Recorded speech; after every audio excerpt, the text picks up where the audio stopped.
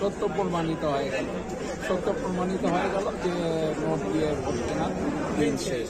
Note দিয়ে vote কিনতে গেছে দেখে তো মনে করেন যে ধরা পড়েছে, আর এটা সিদ্ধান্ত নিয়েছে হলো কোর্ট রায় দিয়েছে এবং কোর্ট যেটা রায় দিয়েছে, আমি মনে করব সবাইকে এটা মেনে নেওয়া আজকের জয়টা কেমন লাগছে যেটা আপনাদের প্যানেলের?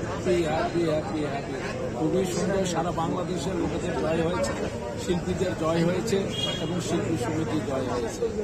এবং সত্যের জয় হয়েছে যেটা হলো মনে করেন যে এতদিন পর্যন্ত দেশের এই আঠারো কোটি মানুষ যে রায় দিয়েছে।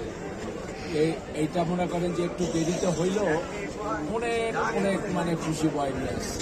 এবং তার সঙ্গে আমাদেরও সব শিল্পী ভাইদেরও খুশি নিয়ে আসছে। এটা আমি বললাম।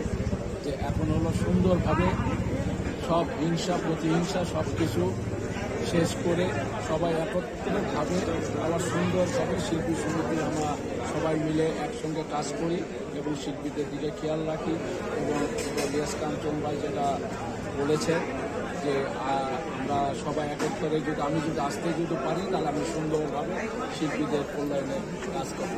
এটাই এখন আমাদের দেখার বিষয় শিল্পী যখন কাজ করবে আপনাদের শপথ নিয়ে কি বলবেন? রিপন আপাতত জয়ী হয়ে গেল এবার বিনা প্রতিদ্বন্দ্বিতায়।